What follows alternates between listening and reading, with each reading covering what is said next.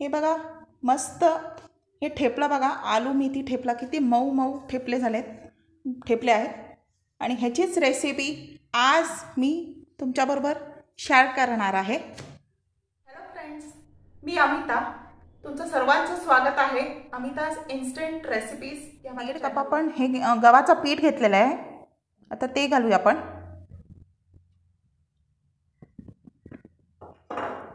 एक पाऊण वाटी बेसन चण्याचं पीठ एक वन फोर्थ कप किंवा पाव पावपेक्षा कमी आपण तांदळाचं पीठ घेऊया.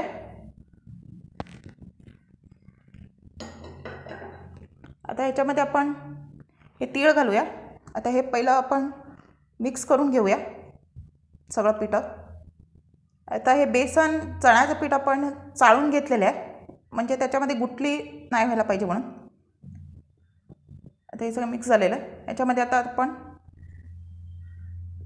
हे असं मध्ये हे करून घेऊया. तीळ घालूया. अर्धा टीस्पून किंवा एक टीस्पून हळद.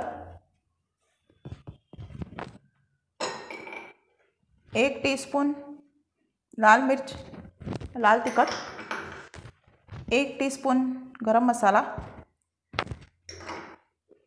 चवीपुरतं मीठ. तर मीठ आपण पसरून घेऊया म्हणजे सगळं याला लागेल. आता हे आपण जिरं मिरची आणि लसूण ह्याचं जरा ठेचून घेतलेलं आहे. म्हणजे ते मध्ये खूप छान त्याचा फ्लेवर येतो म्हणून. आता हे घालून घेऊया आपण. दही एक वाटी दही.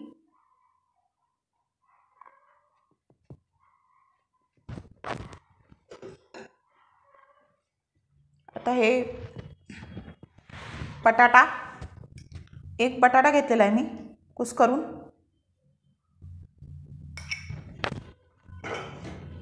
आणि हे मेथी. मेथी स्वच्छ धुवून एक वाटीवर मेथी घेतली आहे. बारीक चिरून घेतलेली मेथी.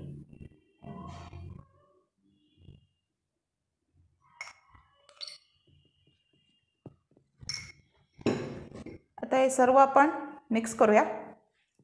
आणि याच्यामध्ये आपण एक चमचाभर तेल घालूया. मोहन. आणि थोडं तेल आपण भाजण्यासाठी ठेवूया. आता हे छान आपण मळून घेऊया. पीठ. आपण छान असं पीठ मळून घेतलेलं आहे. आता ह्याला आपण एक चमचाभर तेल लावूया.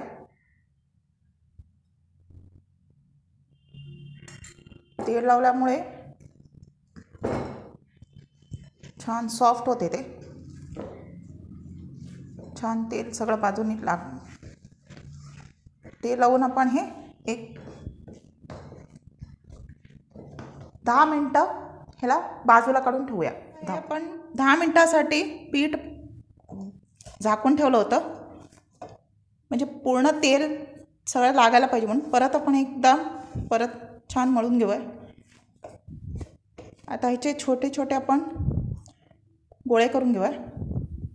ठेपले जास्त मोठे नसतात. त्यामुळे मी ते मी छोटे छोटे गोळे करू. बाहेर काढून ठेवायचं. एक वीस मिनटं. आणि त्याच्यानंतर मग ते तुम्ही वापरायला खाऊ शकता. पण लाटून तुम्ही खायचं. चटणी किंवा सॉस यासोबत खाऊ शकता.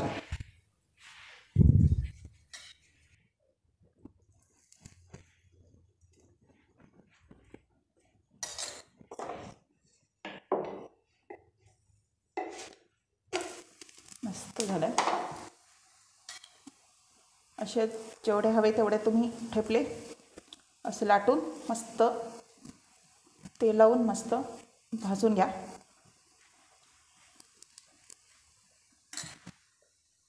तयार आहे आलू मेथी ठेपला. खूप मऊ लुसलुशीत असं मेथीचे आलू मेथी ठेपला तयार झाले. आता हे तुम्ही दहे दही लोणचं किंवा टोमॅटोची चटणी किंवा सोबत तुम्ही हे सर्व करा.